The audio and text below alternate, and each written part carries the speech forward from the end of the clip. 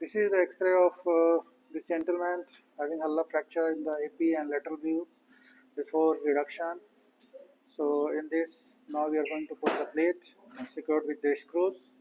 So we'll take you to through the surgical steps of the procedure. So this is 30, 35 year old gentleman having fracture of the distal shaft of the ulna. So this is very straightforward surgery. Will for the skin incision take the tip of the olecranon to the radial styloid and on the subcutaneous border of the ulna you have to give the incision. There is no such kind of any important structure here.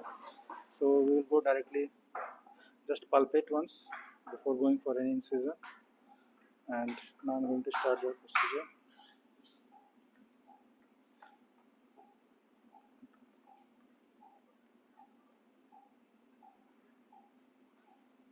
This is very straightforward surgery. So no need to scare with might some dorsal veins will come on the way. But it's okay.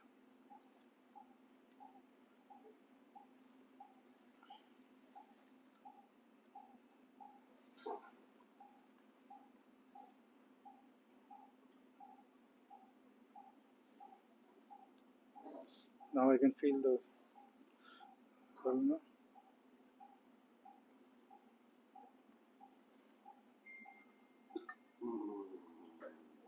ulna. Subcutaneous please.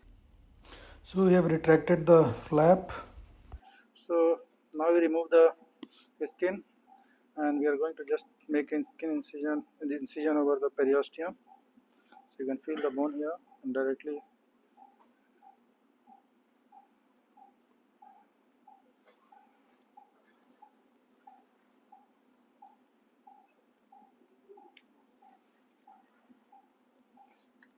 some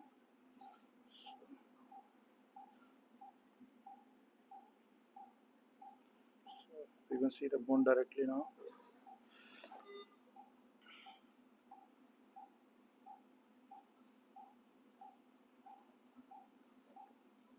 So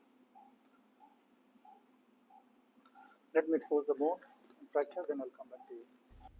So after opening the fracture site we have just curetted because it's like two weeks old fracture. So after the curette and removing the fibrous tissue we are going to take a wash and uh, then we will go for the reduction of the fracture.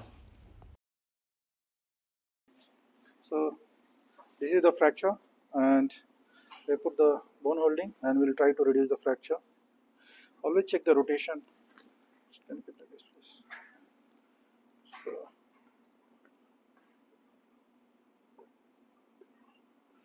so let me reduce and then we'll see you back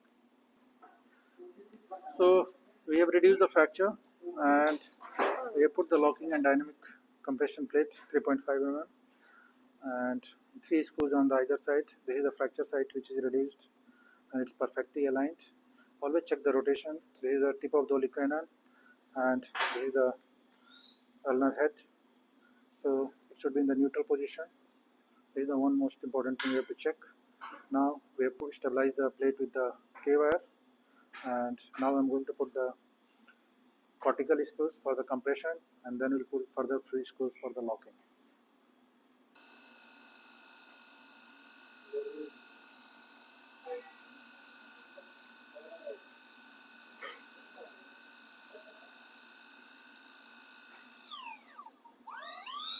Yes always try to give the support and down also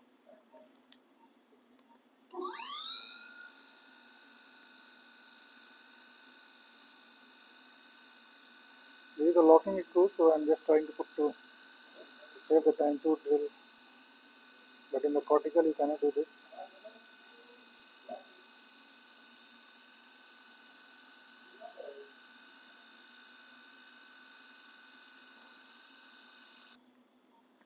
So this is the last screw which I am putting. This screw is coming near to the fracture site, so we have bit angulated this. Uh, this is a variable angle, so I think 15 degree we can do right. Yes. So let's see.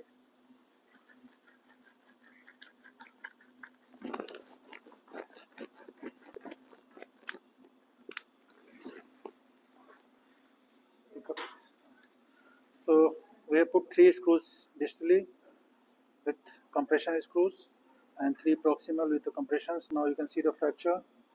Now we will take the wash and we'll close the flexor and extensor compartment. Okay, and after that is thin.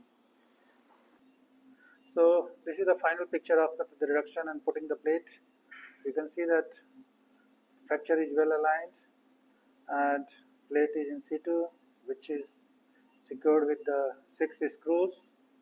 There is no gap in the fracture and we have checked the DRUJ joint which is very much stable.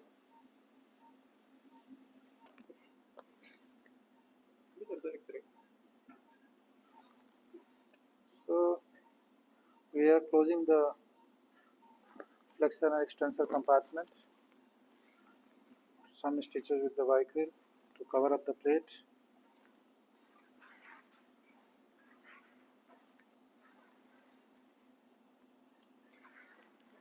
We are putting the subcutaneous So stitches. I'm trying to put some subcutaneous stitches which uh, I'm not going to remove and the cosmetically it will be also better in the terms of scarring and it looks good for the patient.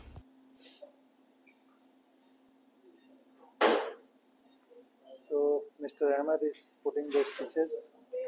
He is very expert in subcutaneous. And after that, we'll do the dressing and start mobilizing the patient immediately.